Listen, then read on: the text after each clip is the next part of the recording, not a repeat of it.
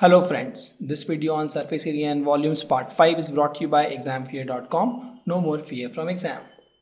Be 100.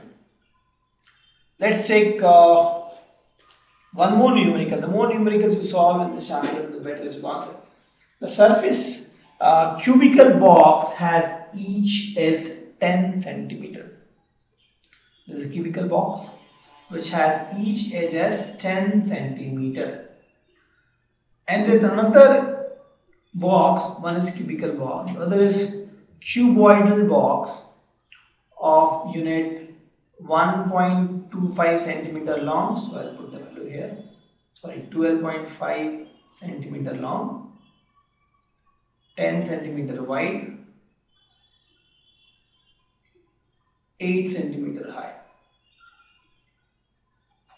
And note all the units are in centimeter. So no problem which box has greater lateral surface area?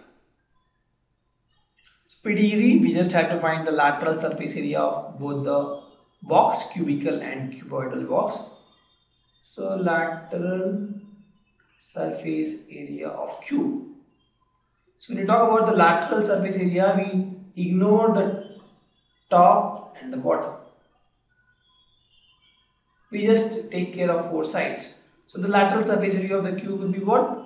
4a square. Why? Because each side is a square and there are four sides in this the four lateral sides. So 4a square is the lateral surface area of the cube. Please note the total surface area of the cube is still 6a square.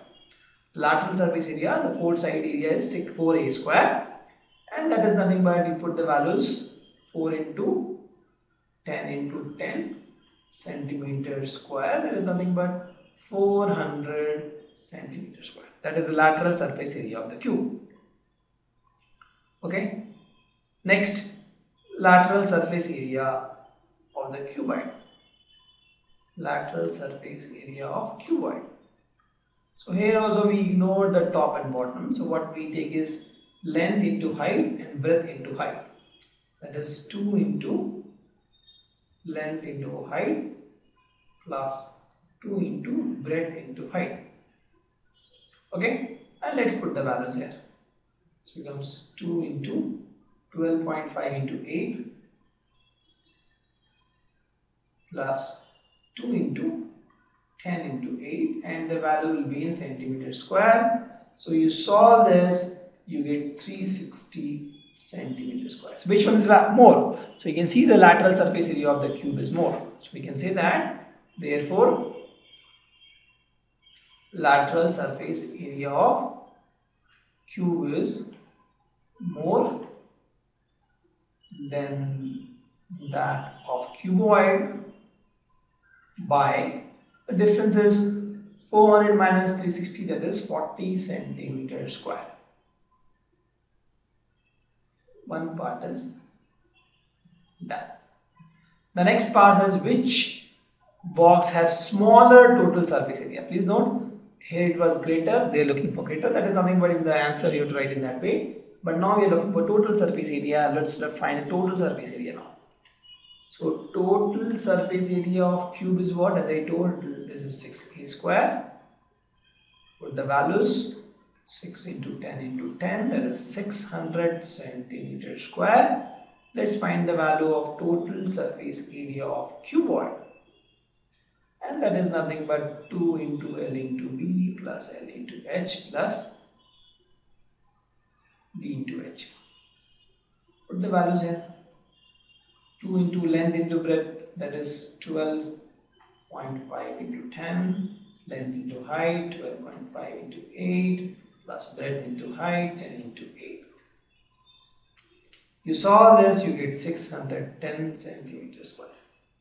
Now the question is which has smaller total surface area. So you see that here also cube has smaller total surface area. Cube has smaller surface area than that of cuboid by you see this is 610 this is 600 so delta is 10 centimeter square 600 minus 6 610 minus 600 that is 10 centimeter square. Correct? So one thing you know that cube has more lateral surface area but the cube has less total surface area. So in this two case so it doesn't mean that if it has more surface area total surface area it will have more lateral surface area. Both are different. So it can happen that some one picture has more lateral surface area but it has less total surface area as well. So if you see in this example a small indoor greenhouse is made entirely of glass panes and they have told including base. So base is also included in this. That means we are looking for six sides. And they're held together with tape. So there's a tape that runs and they are held together with this tape. What is, and dimensions are given 30 uh, centimeter long, so this is 30, 25 centimeter wide, this is 25, and 25 centimeter height, all in centimeter. Good for us. We have to find the area of the glass. So that for that we have to find total surface area of the indoor greenhouse. So you must be knowing what is greenhouse. You must have studied in physics. There's something which is made of glass. It traps the heat. The, light which comes has a different wavelength and the light reflected back has a different wavelength. So once the light is in, once the light is in, it cannot go back. The heat energies cannot go back and thus the whole uh, box becomes heated. You must have seen in the car in the summer season, right? The car is heated.